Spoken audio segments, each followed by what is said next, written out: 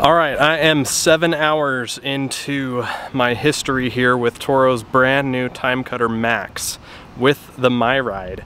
And I'm ready just to kind of give you my initial review, uh, impressions, and just kind of give you an overview of the features. This thing is super cool, and I'm very excited to have it. Got a lot of plans for it and lots of things to share with you, but first want to give you some initial impressions, talk about some of the cool features. Here we go.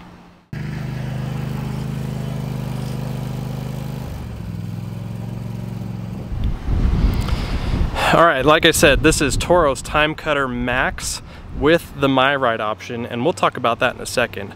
But I wanna just kind of give you a brief overview of why this is the closest you're gonna get in the homeowner category to a commercial grade lawnmower. So if you're looking for a beefy zero turn lawnmower for your property, but you don't wanna shell out the commercial pricing, this is your option. Let me go over why. All right, first things first, stamped steel deck and frame all beefed up. It is absolutely a solid piece of equipment. You can step on the deck. It is legal. It is okay. It is thick enough to support it. Um, it just feels beefy. It feels indestructible when you look at it. It feels indestructible when you operate it. And it's a lot of fun and it's fast. Um, top speed seven miles an hour. This thing will move.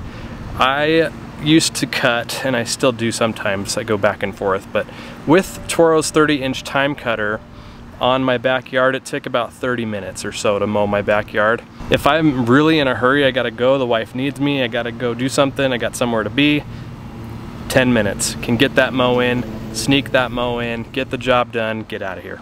Now the seat itself is comfortable enough, super comfortable, but when you add the MyRide suspension system, which is pretty much the entire platform that your body is on from the seat to the actual deck and where the footrests are. It takes it up to a whole nother level. You enter in a whole nother world.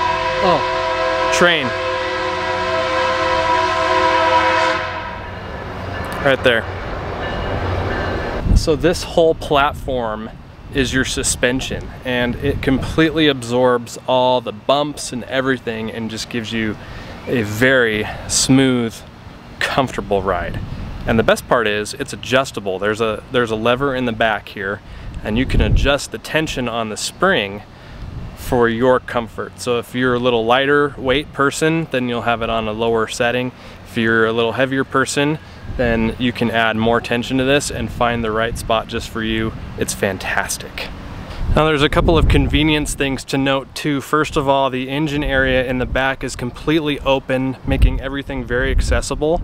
Uh, from draining the oil, you have a drain hose that comes with the mower, uh, changing the air filter, um, getting at the battery. Um, you've also got easy access to uh, filling the oil. Now another convenience feature is the fuel fill. Remove the cap, it's on the side, so it's a lot like your car. So really nice to have that because it will really help avoid spills and things like that. So really cool there. It's, it's a nice wide opening too. So really easy target. You don't have to worry about it. Now getting back to those commercial features, the nicest feature is adjusting the height of cut on this mower. Uh, there's nothing complicated about it at all. It's a very easy pin system. Uh, you push on this pedal here on the side to raise the deck up and um, relieve tension off this pin and then you just choose the height that you want to cut at, drop the pin back in and let go of the pedal, you're good to go. It's also got a tow hitch on the back, which I think is probably the feature that I use the most. I love being able to hook up my Gorilla Cart and just move stuff from the backyard in the shed up to the garage and vice versa. Really easy. So there you go, there's a quick overview of Toro's brand new Timecutter Max with the MyRide. That is an option. You don't need it if you don't want it, um, but the seat is comfortable. And the MyRide, I compare it to Toro's personal pace system. Once you've switched to that, you'll never go back. I can't imagine having a mower without the MyRide at this point. Uh, a couple of things uh, to look forward to. Um, I have some bigger properties that I'm planning to take this on. My in-laws have a big property down the street and I want to put some stripes in their yard. This thing will stripe really good. I am getting a stripe kit for this thing, so that's gonna make the stripes even better really pumped for that. Lots more content to come, lots more stripes, big, wide, fat stripes in the future here with this thing. Can't wait to show you more content on it. Let me know if you have any questions down in the comments section, something I missed, something you want a little more info on. Happy to have a conversation with you there. Thank you so much for watching and thank you to Toro for being such a wonderful partner and for sending me this machine to uh, review and share my opinion on. Really appreciate it. Again, looking forward to sharing much more content on this machine with you. Thanks again for watching. I'll see you next time.